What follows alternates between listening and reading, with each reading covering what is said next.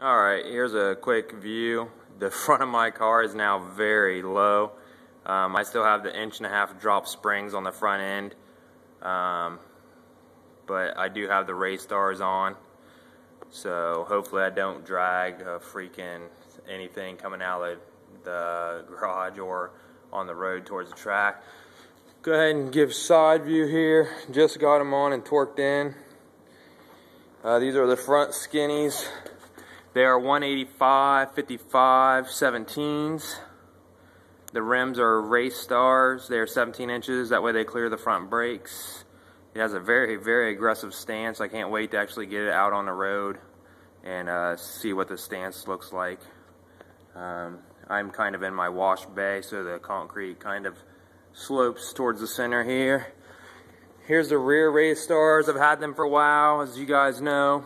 Um, one thing to note here is that I did have to go back to my factory springs on the back because one and a half inch drop um, caused the tires to rub on the inner fender well.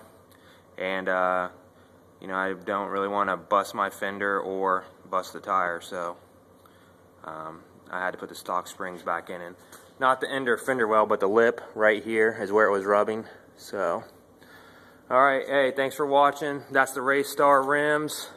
Um, if you've already dropped your car, you'll need to think about putting your uh, factory springs back in the rear.